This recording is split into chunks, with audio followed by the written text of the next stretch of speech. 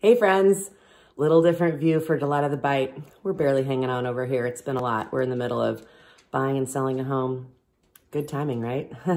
but things look like they're moving forward, which is really awesome. And I'm standing over here by my sliding glass door because the lighting's better since I just rolled out of bed and it's 1030.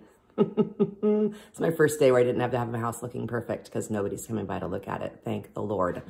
Um, so I'm going to do a little feature today on taking leftover bits that you might have in your fridge. We had a random baked potato. I've got some mushrooms that are hanging on. I had some cherry tomatoes that are also hanging on and a little bit of green onion. And I'm gonna just do a quick little hash in a pan and then fry up an egg after I scoop out all the things that I fried on the pan and, or fried in the pan and then just top it with a fried egg. And that's kind of like my brunch and then cup of coffee. So uh, I know we're all doing our best. So let's stay positive and um, yeah, just stay home, do our part. So I'm excited to show you with a little uh, random, let's just call it refrigerator hash with an egg.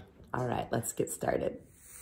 So one of my favorite ways to use up things that we're already making, we had potatoes the other night, I had some tomatoes for a salad, some green onion, little mushroom, but really this could be almost anything that you have left over. Saute it up in just a little bit of olive oil or butter. And then um, I'm gonna take this out, put it on a plate right over here. And then I've got the egg waiting to fry up in the hot pan. I'll lay the egg over top the, veg the veggie potato mix. And that's breakfast. So good way to utilize some of the things you have left over. Right, Tucker? Yes, he says. Also, here's how I do my eggs. I cracked my egg in there. I put a little water in the edge of the lid, dump it in, and then cover it for just like a minute. And it kind of steams the eggs um, and doesn't make them crispy because I don't like that webby crispy part. Some people might love that, not me. Sorry it's so messy, but tis the times. So slid that thing on top of my little random hash right here.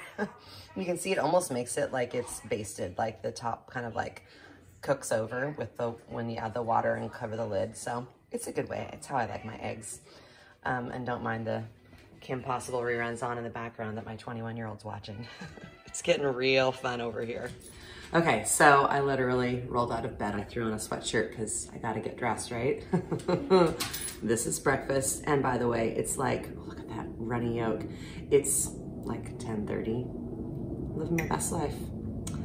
Okay, here we go. So this is just, again, whatever you have left over in your fridge, throw it in a skillet with a little bit of butter, fry it up, throw an egg on top. You've got lunch, breakfast, dinner. It works. Mmm. It's another form of comfort that isn't hopefully as bad as Granny's Butterhorns. If you didn't watch that one last week. Mmm. Mmm. This is really good. Veggies, leftover meats, leftover potatoes, any of it, throw it in a pan, fry it up, top it with fried egg, and you have a little meal. So good way to use up your leftovers during this time as we're trying to not go out and do our part. All right, delight of the bite. Subscribe, share, tell your friends, and don't worry about showering because I'm not. All right, and also my Instagram at Delight of the Bite. Subscribe there. I might be posting some things. And thanks for watching and be well, be safe.